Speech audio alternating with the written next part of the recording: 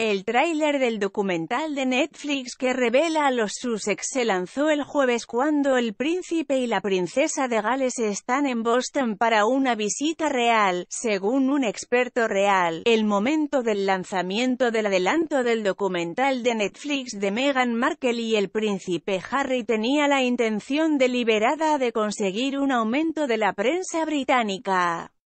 Hablando exclusivamente para Express, Marlene Eilers Koenig compartió sus pensamientos sobre la superposición del lanzamiento con la visita del príncipe William y Kate a Boston para el premio. Se espera que la serie de seis partes, llamada Harry y Meghan, se transmita en Netflix muy pronto y promete ofrecer una mirada íntima detrás de escena de su relación.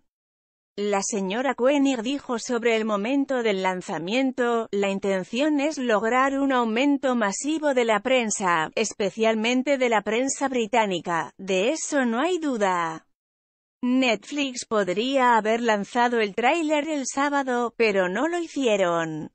Este viernes se llevará a cabo la segunda ceremonia anual de entrega del premio Earthshot en Boston, un gran proyecto para el príncipe de Gales en su intento de abordar los desafíos que plantea el cambio climático. Cuando se le preguntó si la visita real se vería eclipsada por el lanzamiento del tráiler, la señora Koenig continuó, solo si la prensa decide hacerlo.